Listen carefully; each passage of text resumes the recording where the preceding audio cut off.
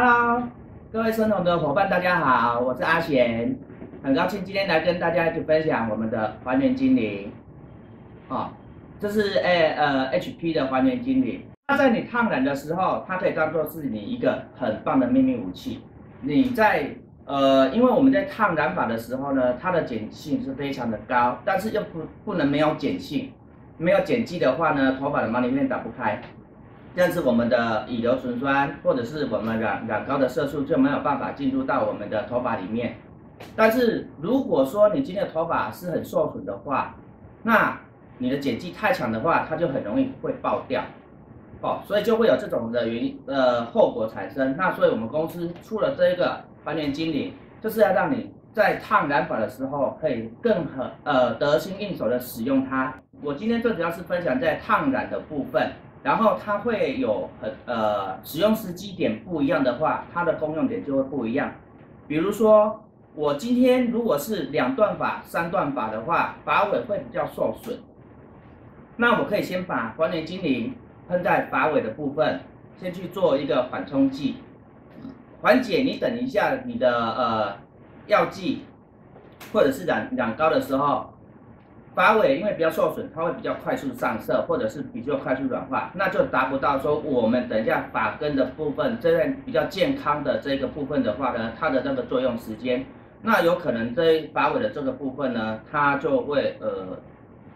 太过容易吃色，或者是极过度的软化，那就可能会有爆掉的危机。所以它可以在烫前的时候先喷上一些，然后把它涂抹均匀，然后去当一个缓冲剂。然后，如果在烫中的话呢，比如说我们套头发都已经全部都已经软化了，头发都已经软化了，我现在强调是头发都已经软化了，我们再把它喷上去，喷均匀，喷均匀之后，然后你再去做一个按摩，去让它充分的融合。有一个很重要的一点，就是要充分的融合在一起。如果你少做了这个按摩的动作，它的这个。只是停留在表面，你的还原精灵只停留在你的药剂的表面，它就没有办法产生到它的最大的作用。所以一定要去做一个按摩的动作，然后喷均匀之后，按摩完了之后，我们要等十分钟，因为化学的东西它需要有一个静置的时间，它必须要等待它的化学变化，所以我们的等待时时间就是十分钟，十分钟。然后为什么要喷它？因为我们药剂药剂的碱性都是偏高的，这个还原精灵呢，它的 pH 值是在等，它是三，pH 值是三。那我们的药剂通常是在九以上，九以上的话呢，如果说你今天你的软化已经完成了，软化完成，如果你的头发还继续受到碱剂的碱剂的呃渗透的话，它有。会很容易爆掉，毛鳞片会过度膨胀，膨胀完了之后它就爆掉了。所以喷上还原精灵这种酸性的物质的话呢，它可以把它的那个呃碱剂拉下来。头头发在头发它的呃最平稳状态的 pH 值是在五点五，在五点五。所以喷上它的时候，它可以很快的下把头发的药剂的碱性把它拉下来。那你头发就可以在一个很好的 pH 值的环境下，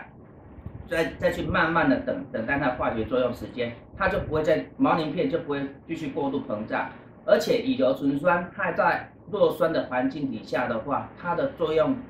作用能力也会减弱，所以它就不会把你的呃里面的链件过度的破坏，这个很重要。所以为什么很多人说？我喷上去之后好像没有什么感觉，当然它没有什么感觉，因为链件是在里面，所以你会看不到，你会看不到。但是你喷上去之后，喷均匀哦，一定要喷均匀，然后要去做充分的揉揉捏，去让它融合在一起，再等待时间。好，冷烫的部分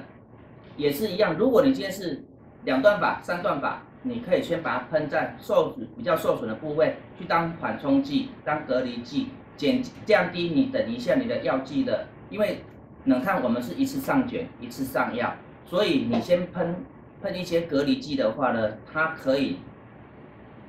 可以降低它的药剂的渗透的速度，渗渗透的速度。好，那如果是已经成型了，冷烫卷度成型的时候呢，我们就把它喷均匀，一样，稍微把它捏一下，让它增加它的那个渗透的均匀度，揉捏一下，然后一样等十分钟，十分钟之后我们再去冲水，冲完水洗发护发，然后再再回来再烘干，在烘干的过程当中，你可以再喷上这个还原精灵。在这个过程当中，虽然它的碱剂已经降低很多了，但是如果你在这个时候喷上还原精灵的话，因为它里面有非常丰富的呃角质蛋白，角质蛋白可以增加我们头发的弹弹韧度，所以你在烘干的过程当中，你的卷度它会有固卷的效果，固卷效果会非常的棒。所以我们把它把它喷均匀，再把它稍微揉捏一下，然后再烘干，烘完烘干完之后，你再来上二剂，上二剂。那你在二剂，我们的作用时间大概，如果我们是溴酸钠系统的话呢，是十五分钟，它的等待时间是十五分钟。那我们通常会分成两次上，一次是十分钟，然后第二次是五分钟。那你在五最后五分钟上完的时候，再把它喷上还原精灵，再喷上还原精灵，这个时候它的作用是，就是一样是在补强补强它的呃光呃角质蛋白。角质蛋白对头发的强韧度，然后它里面还有我们的头发的那个油脂，所以它可以增加它的光泽度，还有柔顺度。所以每个时机点使用的不一样的话，它的作用就会不一样。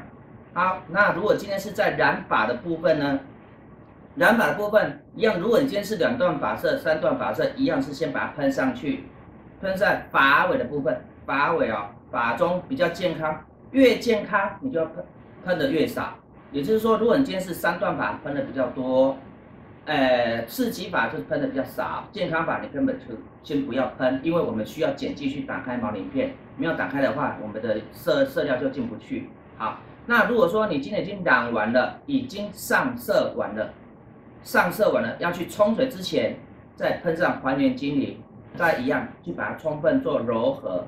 把它做按摩，让它融合在一起。融合在一起的时候，一样再等十分钟。十分钟完之后，我们再去冲水、洗头，然后再护发。这样子大家清楚明了吗？好，如果有什么问题的话，可以在我们课堂上去跟大家做，呃，去跟我们各位老师来请教。我们深红有很多的老师可以很多很乐意的回答你。好，谢谢大家，拜拜。